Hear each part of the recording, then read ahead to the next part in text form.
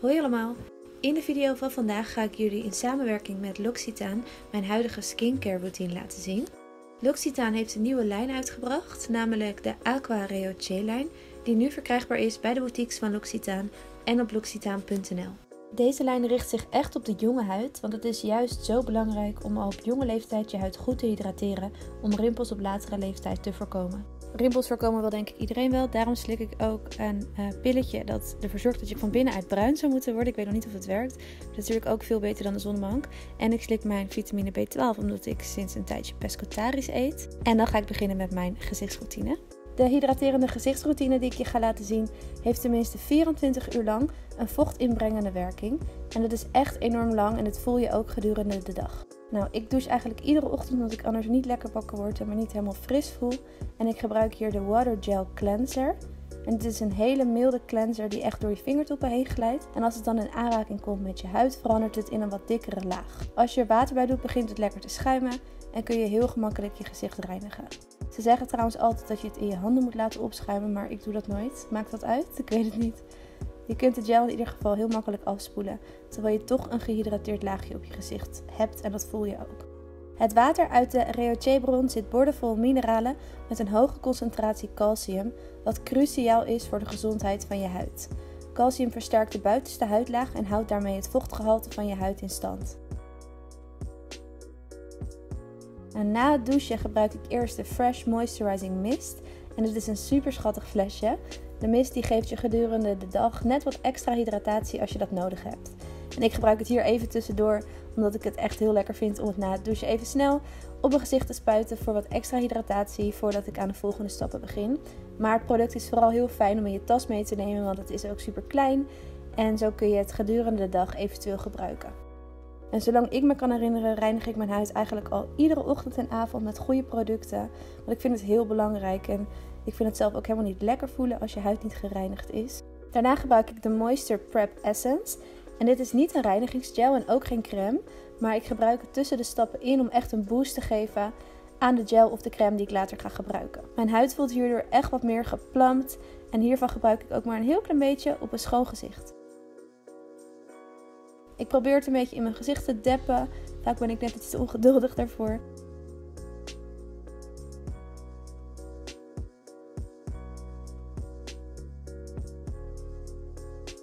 Ik wacht even tot het helemaal geabsorbeerd is door mijn huid. En deze tussenstap versterkt dus echt de andere stappen. Nou, daarna vind ik het ochtends fijn om de Ultra Thirst Quenching Gel te gebruiken. Na het douchen kan je huid wat droog aanvoelen, omdat het dan heel vochtarm is. Wat eigenlijk heel gek is, want je hebt net gedoucht, maar ja, zo werkt het. En deze gel die herstelt het vochtgehalte van je huid. En deze gel bestaat uit duizenden microbelletjes die je hier ook heel mooi kunt zien. Ik vind het er echt super cool uitzien. De gel is voor normale tot een gecombineerde huid en je ziet ook echt dat je huid heel glowy is als je het hebt gebruikt. Ik gebruik een heel klein beetje en probeer het in mijn gezicht te deppen. Ik wacht dan tot het helemaal is ingetrokken, want dat duurt wel heel eventjes. En het is een lichte, niet vette formule. Daarna blijf je dus nog een beetje dat laagje op je gezicht voelen, wat ik dus zo fijn vind als basis. En ik vind het fijn om deze gel ochtends te gebruiken, omdat het super fijn werkt als basis voor je make-up. Want hij laat een soort laagje op je huid achter, wat heel erg mooi hecht aan de primer en foundation die ik daarna gebruik. In de producten zit ook glycerine verwerkt. En glycerine houdt watermoleculen vast aan de oppervlakte van je huid, dus zo werkt het vochtinbrengend en maakt het je huid voller. En ik denk dat dit ook is wat ervoor zorgt dat het zo mooi werkt als basis voor mijn make-up. Verder bevatten de producten hyaluronzuur, wat helpt het vocht in je huid vast te houden en wat de vitaliteit van je huid herstelt. Nou, dan wilde ik aan jullie laten zien hoe glowy mijn huid eruit zag. Maar ik moet zeggen dat ik een beetje ziek aan het worden was op dit moment. Dat ik er niet heel erg stralend uitzie. Maar juist dan is het zo belangrijk om je gezicht toch goed te verzorgen. En wat ik ook heel belangrijk vind, is om een goede voedende body lotion te gebruiken. Want ik heb echt vaak last van een jeukende huid na het douchen. Heel erg trekkerig, heel erg droog. Dus ook mijn huid, niet alleen mijn gezicht, maar ook mijn huid wil ik goed hydrateren. En daar waren even twee hele schattige katten. Aan het einde van de dag kom ik weer thuis en we gingen sushi eten. En voor het eerst in meer dan twee maanden ging ik weer een keer vis sushi eten. Dus ik moest het even met jullie delen. En ik wil even laten zien hoe stralend mijn huid er nog steeds uitzag aan het einde van de dag. En s'avonds is het weer tijd om mijn gezicht te reinigen, mijn make-up eraf te halen. En dat doe ik altijd met een reinigingslotion die ook olie bevat, want dat vind ik veel makkelijker. Daarmee haal je make-up zoveel makkelijker weg.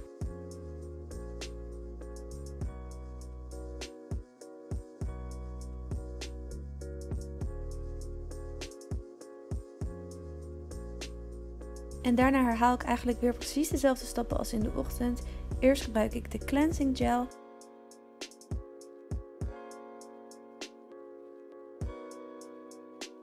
En deze gebruik ik s'avonds met een elektrische reinigingsborstel.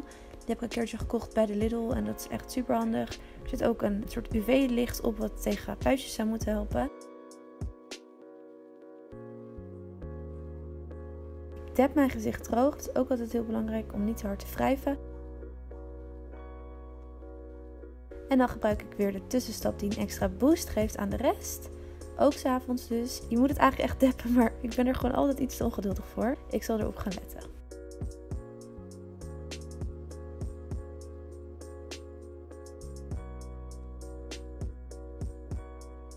S'avonds gebruik ik dan graag de Ultra Thirst Cleansing Cream.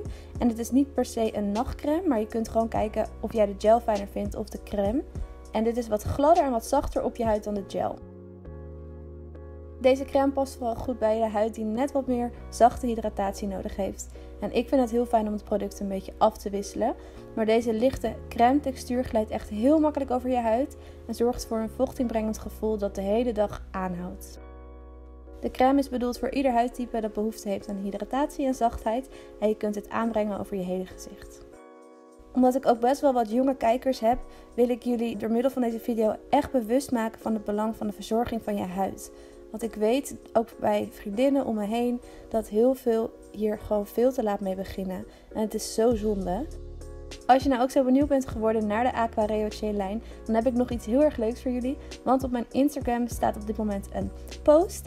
En als je daar even naartoe gaat, kun je dezelfde producten winnen. Dus ik zal een link hiervan in de beschrijving zetten. Als laatste sluit ik toch nog even af met de mist. Puur omdat ik het gewoon zo leuk en lekker vind voelen. Dan borstel ik nog even mijn haren door. En dan is deze video eigenlijk helemaal klaar. Ik hoop dat ik jullie een beetje heb kunnen inspireren. En echt een boodschap heb kunnen meegeven. Alsjeblieft, reinig je gezicht goed. Zorg voor een goede hydratatie, want het is zo belangrijk. En voorkomen is zoveel beter dan genezen. Ik doe altijd wat op mijn lippen s'nachts, want ook mijn lippen wil ik goed hydrateren. Mijn lenzen uit, mijn bril op en dan ben ik klaar om te gaan slapen. Vergeet geen duimpje omhoog te doen voor deze video. Heel erg bedankt voor het kijken en tot de volgende keer.